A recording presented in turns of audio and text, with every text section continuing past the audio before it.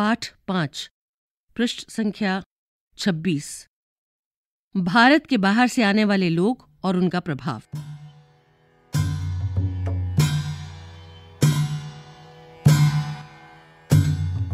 जाने कितने ही देशों से भारत आए लोग अनेक।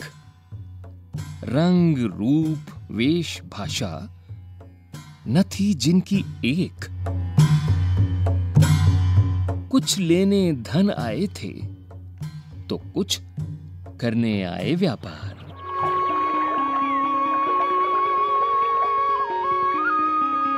विविधता भरी सभ्यता का फिर यहीं बने आधार।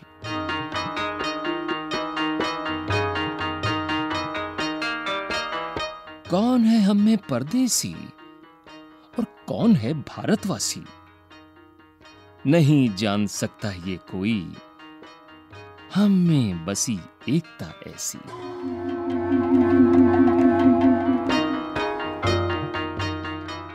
हाँ हम में बसी एकता ऐसी।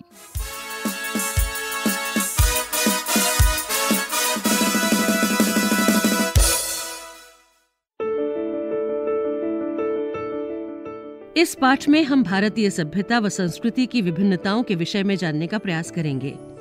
भारत विभिन्न सभ्यताओं व संस्कृतियों का देश है। समय समय पर भारत में बाहर से लोग आते रहे हैं, जिनमें से कुछ भारत में ही सदा के लिए बस गए। इन विभिन्न बाहरी लोगों ने भारतीय सभ्यता व संस्कृति पर प्रभाव डाला, जिसे हम यहाँ के खान पान रहन सहन वेशभूषा रीति रिवाजों आदि में देख सकते हैं। इस पाठ में हम भारतीय संस्कृति पर पड़े कुछ प्रभावों को देखने का प्रयास करेंगे, विशेष रूप से तुर्कों व मुगलों के संदर्भ में ये पाठ भारत की एकता व अनेकता को दर्शाता है सुलेमान पर्वतमालाएँ, जो हिमालय के दक्षिणी ओर का विस्तार है, खैबर और गोमल दर्रों से गुजरती हैं। सुलेमान पर्वतमालाएँ दक्षिण की ओर बलूचिस्तान में किरथार पर्वतमालाओं से जुड़ जाती हैं, जिन्हें बोलन दर्रे से होकर पार किया जा सकता है। पृष्ठ 26 पर एक मानचित्र है जिसमें वर्तमान के पाकिस्तान और वर्तमान के भारत को दर्शाया गया है।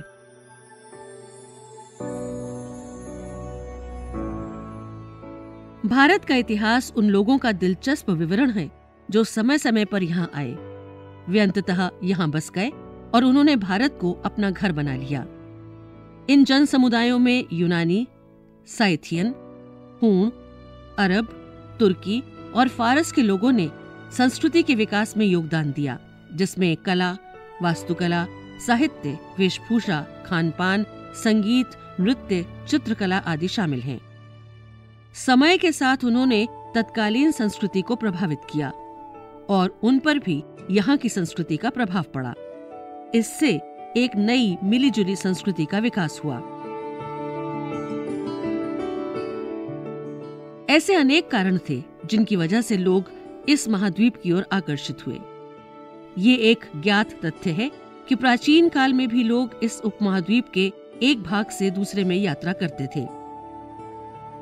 कभी कभी हिमालय पर्वतमाला अन्य पर्वतों व पहाड़ियों नदियों रेगिस्तानों और समुद्रों के कारण ये यात्राएँ खतरनाक और दुर्गम भले ही हो जाती थीं, लेकिन असंभव नहीं।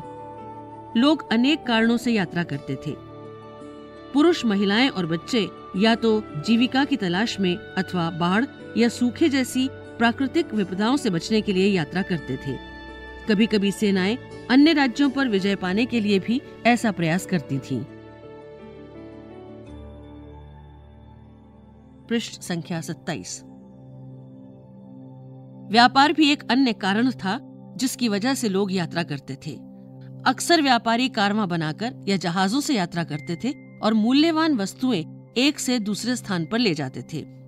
कुछ लोग संभवतः रोमांच की भावना से साहसिक यात्रा करते थे। आध्यात्मिक और शैक्षिक जरूरतों ने भी लोगों को इस महाद्वीप में आने के लिए प्रेरित किया। लोग किस प्रकार भारत आए थे? लोग स्थल मार्ग और समुद्री रास्तों से हमारे देश में आए थे। ईरान, अफ़गानिस्तान और मध्य एशिया से लोग पहाड़ी दर्रों से आक्रमणकारियों, व्यापारियों, यात्रियों और प्रवासियों के रूप में आए थे। पहाड़ी दर्रों ने लोगों का आवागमन सुगम बना दिया और बाद में इसी मार्ग से भारत, मध्य एशिया और पश्चिम एशिया के बीच व्यापार और सांस्कृतिक संपर्कों को बढ़ावा मिला। पहले अरबी और बाद में पुर्तगाली, डच तथा अंग्रेज़ समुद्री मार्गों से भारत आए। भारत के इतिहास के बारे में बाहर से यहाँ आने वाले यात्रियों के विवरणों से जानकारी प्राप्त करना। जो लोग भारत आए, उन्होंने भारत, इसके लोगों, समाज, संस्कृति और परंपराओं के विषय में लिखा। उनके विवरणों में भारत की कुछ प्रमुख ऐतिहासिक घटनाओं का उल्लेख मिलता है, जैसे यूनानी स्रोतों के आधार पर हमें यूनानी शासक सिकंदर, उसके आक्रमण और उससे संबंधित अन्य विषयों के बारे में पता चलता है। चंद्रगुप्त के शासनकाल में भारत में यूनान के राजदूत मेगस्थनीज ने इंडिका नामक एक पुस्तक लिखी थी, जिसके कुछ अंश आज भी सुरक्षित हैं और जिनका अन्य लेखक उदाहरण देते हैं।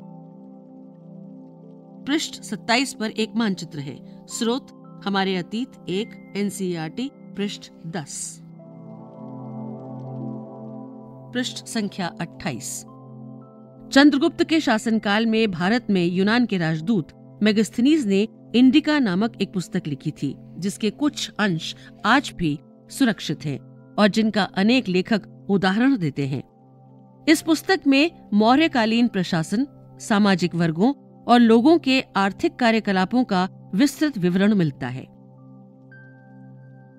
मेगस्थनीज के विवरण के साथ ही अन्य साहित्यिक स्रोतों जैसे कौटिल्य के अर्थशास्त्र, विशाख दत्त के मुद्रा राक्षस नाटक तथा जैन और बौद्ध धर्म की पुस्तकों में भी मौर्यकालीन शासकों और शासक वर्गों का विस्तृत विवरण मिलता है।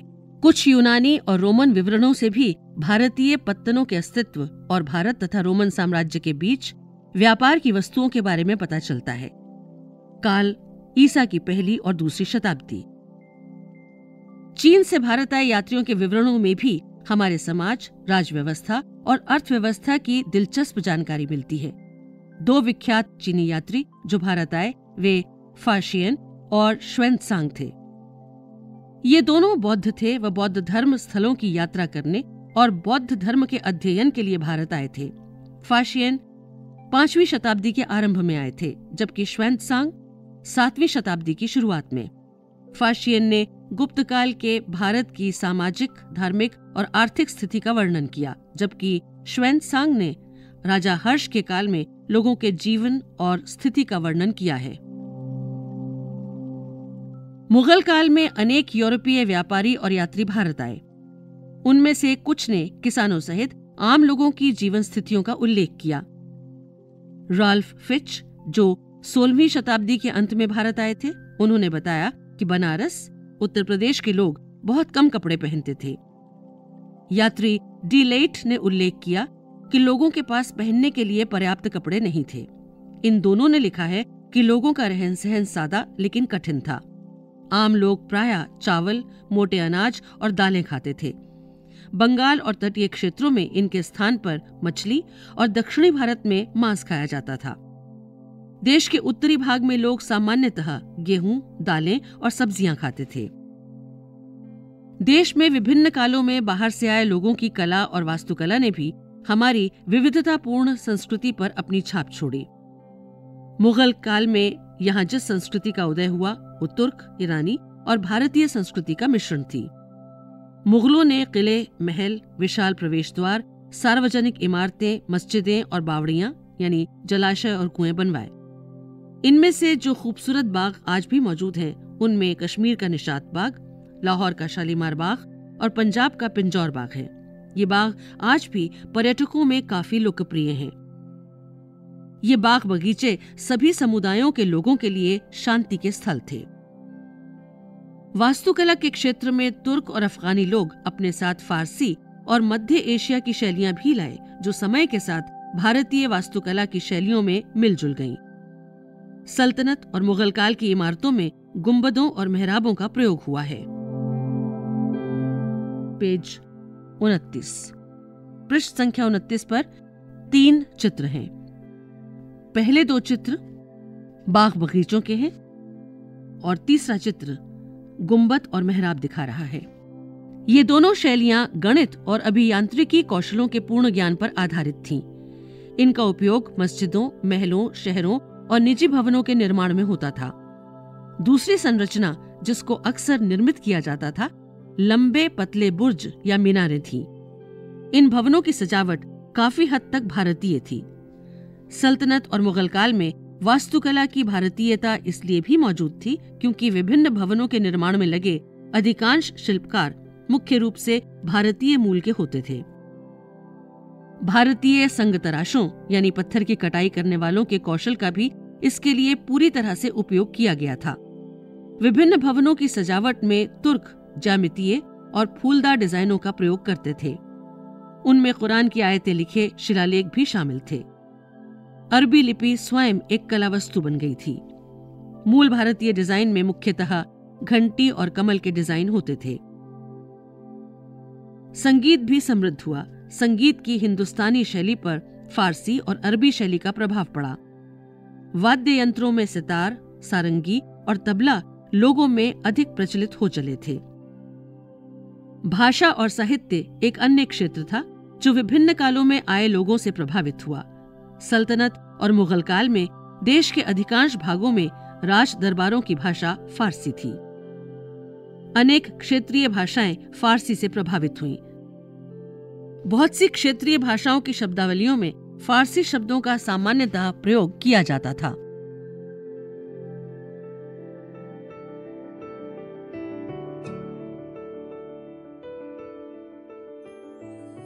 गुंबद और मेहराब पहले भी थे, लेकिन इनका व्यापक स्तर पर निर्माण नहीं किया जाता था।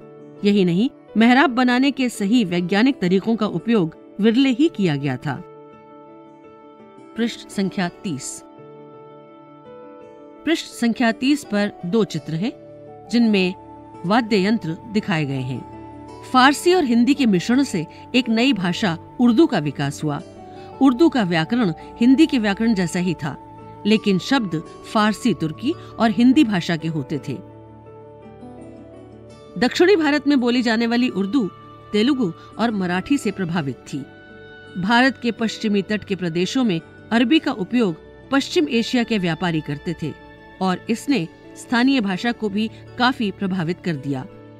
कुछ प्रसिद्ध संस्कृत रचनाएँ, पुराण, रामायण, महाभारत आदि क्षेत्रीय भाषाओं में उपलब्ध थीं। और फिर इनका क्रमशः अरबी और फारसी में भी अनुवाद हो गया था। कुछ कविताएँ और नाटक क्षेत्रीय भाषाओं तथा अरबी और फारसी में भी लिखे गए थे। इनमें श्रीनाथ का हरविलास और मलिक मोहम्मद जायसी का पद्मावत काफ़ी लोकप्रिय हो गए थे। अमीर खुसरो के बारे में, बारह से 1325 अमीर खुसरो को भारतीय होने पर गर्व था। वे कहते थे कि मैं दो कारणों से भारत की प्रशंसा करता हूँ। एक तो इसलिए क्योंकि भारत मेरा जन्म स्थान और हमारा देश है। देश प्रेम एक महत्वपूर्ण दायित्व है। हिंदुस्तान स्वर्ग के समान है। इसकी जलवायु खुरासान से बेहतर है। ये वर्ष भर हरा भरा और फूलों से युक्त रहता है। खुसरो का भारत प्रेम दिखाता है कि तुर्की शासक वर्ग विदेशी शासक वर्ग की तरह व्यवहार करने को तैयार नहीं था। और भारतीय मूल की और भारत से बाहर की संस्कृतियों के बीच मेल के लिए ज़मीन तैयार हो गई थी। खुसरो ने हिंदी सहित, जिसे वे हिंदवी कहते थे, भारतीय भाषाओं की प्रशंसा की है। उनके कुछ यहाँ वहाँ बिखरे हिंदी छंद मिले हैं। हालाँकि जिस हिंदी रचना खालिक बारी को अक्सर खुसरो की रचना कहा जाता है, उसके बारे में पूरी संभावना है कि वो उसी नाम के बाद के कवि की रचना है। वे संगीतकार भी थे और उन्होंने प्रसिद्ध सूफी संत निजामुद्दीन औलिया द्वारा आयोजित धार्मिक संगीत सभाओं, यानी समा में भाग लिया था। उन्होंने चिश्ती सभा में कौल, अरबी शब्द, जिसका अर्थ है कथन, की शुरुआत करके एक विशिष्ट शैली दी, जो कि कव्वाली की शुरुआत या समापन पर गाया जाने वाला छंद था। इसके बाद फारसी, हिंदवी या उर्दू भाषा में सूफी कविता पढ़ी जाती थी। इसे कव्वालों द्वारा, यानी जो इन गानों को गाते थे, गाया जाता था। आज कव्वाली पूरे उप महाद्वीप में सभी मुस्लिम दरगाहों पर गाई जाती है। पृष्ठ संख्या 31 अमीर खुसरो अपनी कविताएँ फारसी में लिखते थे, जिनमें उनके भारत प्रेम और भारतीय होने पर गर्व करने की झलक मिलती है। इस प्रकार भाषा और साहित्य उन लोगों द्वारा प्रभावित हुए थे जो बाहर से यहाँ आए और उन्होंने इस उपमहाद्वीप को अपना घर बना लिया।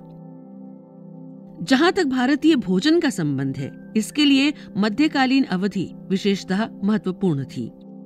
मध्य एशियाई लोगों, फारसियों और तुर्कों के आने से भारतीय व्यंजनों पर अत्यधिक प्रभाव पड़ा। पश्चिम एशिया के मुसलमान बारहवीं शताब्दी में मुगलई व्यंजनों को भारत लाए थे।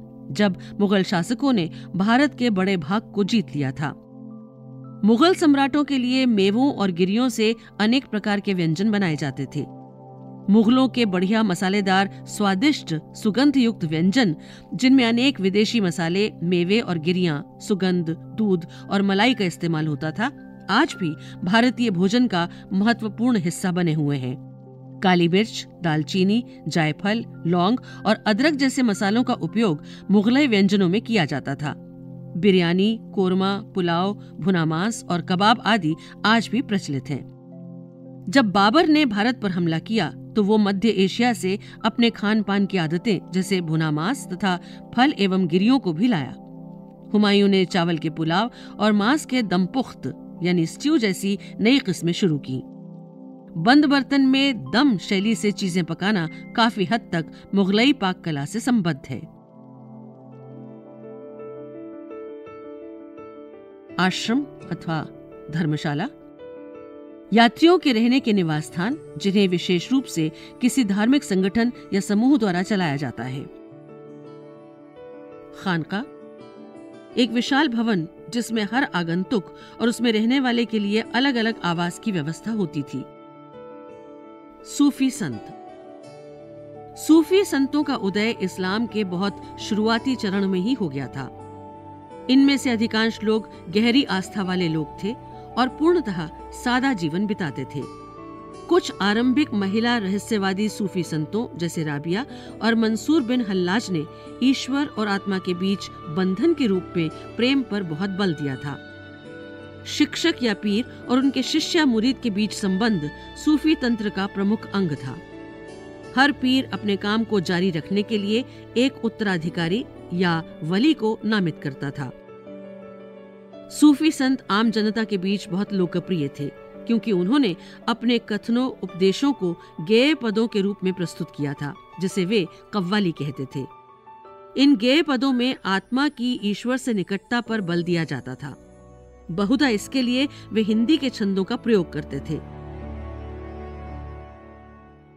निजामुद्दीन औलिया ने तो योग की श्वास क्रियाओं को भी इतनी अधिक पूर्णता से अपना लिया था कि आम लोग उन्हें सिद्ध या पूर्ण पुरुष कहते थे। सूफियों का संगठन, उनकी कुछ क्रियाएँ, जैसे तप, उपवास और सांस रोकना आदि को प्राय बौद्ध धर्म और हिंदू योग के प्रभाव के रूप माना जाता है। पृष्ठ बत्तीस। ग्यारहवीं शताब्दी में सूफी मत ने भारतीय समाज को प्रभावित किया।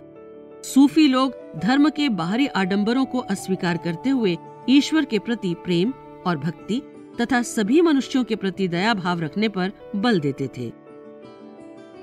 खेलकूद के क्षेत्र में कुछ खेल जो प्रचलित हुए और आज भी खेले जाते हैं, उनमें शतरंज, चौपड़ नार्ड यानी फारसी बालझड़ और ताश है। अमीर खुसरो और मलिक मोहम्मद जायसी ने अनेक अवसरों पर शतरंज के खेल का उल्लेख किया है, जो लोगों में काफ़ी प्रचलित था। शतरंज का एक अन्य प्रकार, जिसे शतरंजई कामिल या चतुष्टक शतरंज कहते थे, वो भी उस समय खेला जाता था।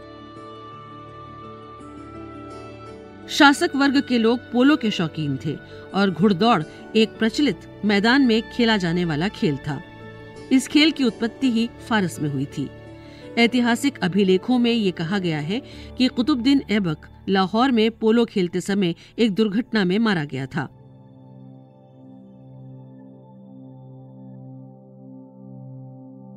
तुर्क लोग पोलो के बहुत शौकीन थे। सल्तनत और मुगल काल के राजपूत शासक पोलो खेलने में माहिर थे। दूसरा प्रमुख विकास जिसने समाज के सभी वर्गों के जीवन और दशा को प्रभावित किया ग्यारहवीं शताब्दी से सूफी मत का प्रसार था। इस शताब्दी में बड़ी संख्या में सूफी मध्य एशिया से आए और हिंदुस्तान में बस गए। ये प्रक्रिया दिल्ली सल्तनत की स्थापना के साथ और सशक्त हो गई। चिश्ती सिलसिला सबसे अधिक प्रभावशाली संत परंपरा थी। इसमें अजमेर के ख्वाजा मोइनुद्दीन चिश्ती, दिल्ली के कुतुबुद्दीन बख्तियार काकी, दिल्ली के ख्वाजा निजामुद्दीन औलिया और गुलबर्ग के बंदा नवाज़ गीसू दराज आदि थे।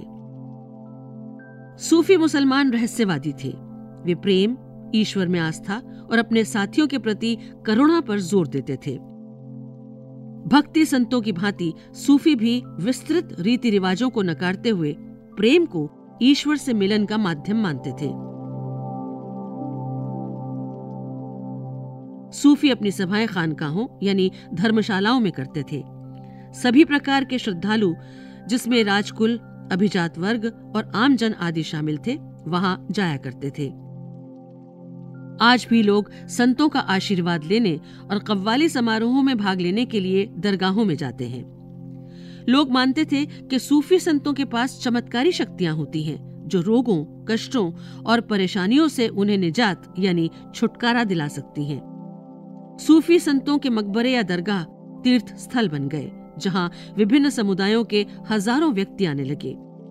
आज भी बड़ी संख्या में विभिन्न धर्मों और समुदायों के लोग सूफियों की दरगाहों, जैसे अजमेर में मोइनुद्दीन चिश्ती की दरगाह और दिल्ली में निजामुद्दीन औलिया की दरगाह में जाते हैं। पेज तैतीस। दरगाह, एक फारसी शब्द जिसका अर्थ है दरबार। किसी शेख यानी धर्मगुरु का निधन होने पर मकबरे में उसका वो धर्मस्थल, जहाँ उसके अनुयायी उसके प्रति श्रद्धा भक्ति प्रकट करने के लिए जमा होते हों। आओ, याद करें। एक, विभिन्न कालों में भारत आए विदेशी यात्रियों के नाम बताइए। दो, वे यहाँ क्यों आए थे? तीन, उन्होंने भारत के विगत काल में यहाँ के लोगों, जीवन और उनकी दशा के विषय में क्या लिखा? आओ, चर्चा करें। आप के में कराटे, संगीत, नृत्य आदि अनेक क्रियाकलाप कर रही हैं। आपके विचार से ये सब भारत के विभिन्न राज्यों अथवा विदेशों की संस्कृतियों से किस तरह प्रभावित हैं? पाँच, क्या आपके शहर या गाँव में कोई खानका या दरगाह है? पता लगाइए कि इनका निर्माण कब हुआ था और वहाँ किस प्रकार के कार्यकलाप होते हैं।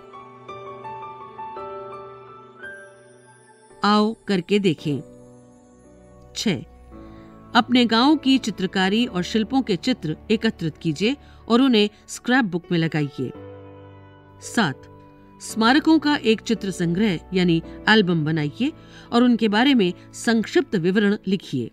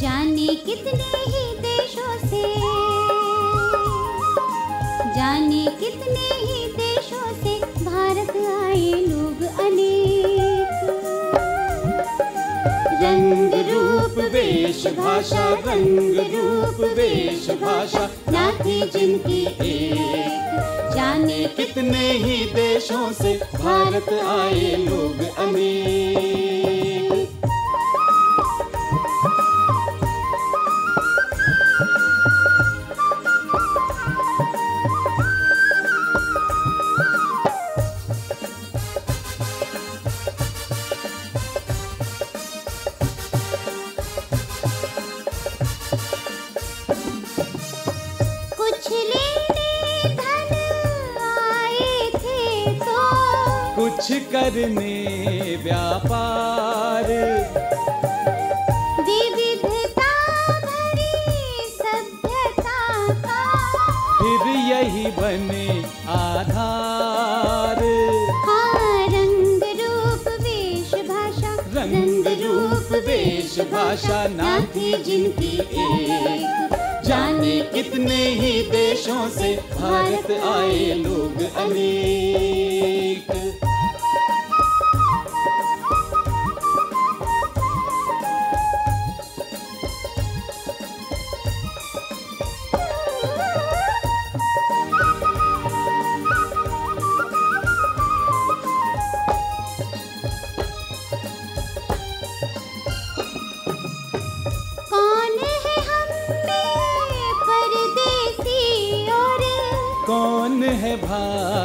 भारतवासी। नहीं जान सकता यह कोई। हम में बसी एकता ऐसी। रंग रूप वेश भाषा रंग रूप वेश भाषा ना थी जिनकी एक। जाने कितने ही देशों से भारत आए लोग अमीर। जाने कितने ही देशों से भारत आए लोग अनेक